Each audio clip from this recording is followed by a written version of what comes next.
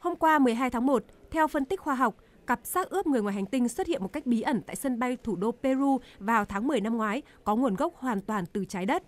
Hai mẫu vật nhỏ được các chuyên gia mô tả là búp bê hình người tại một cuộc họp báo ở Lima và có khả năng được tạo hình từ cả bộ phận của con người và động vật.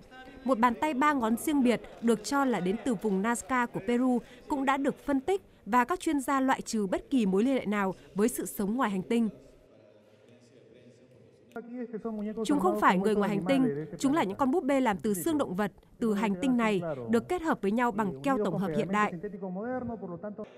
Hai bức tượng nhỏ xuất hiện tại văn phòng chuyển phát nhanh ở sân bay Lima trong một hộp các tông và được làm trông giống như những xác ướp mặc trang phục truyền thống của người Andin.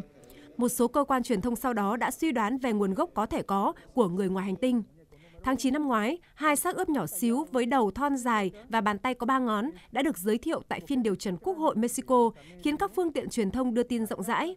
Nhà báo Mexico James Mosen, một người đam mê UFO, đã khẳng định những thi thể đó khoảng 1.000 năm tuổi và được trục vớt từ Peru vào năm 2017 hầu hết các chuyên gia sau đó đều bác bỏ và cho rằng chúng là giả mạo, có thể là xác ướp người cổ đại bị cắt xén, kết hợp với các bộ phận của động vật, nhưng chắc chắn là từ trái đất.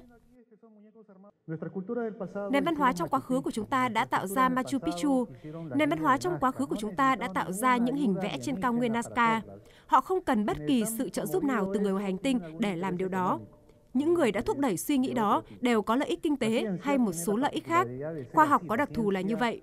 Khoa học là ánh sáng soi đường và những gì chúng tôi trình bày ở đây là khoa học chứ không phải giả khoa học.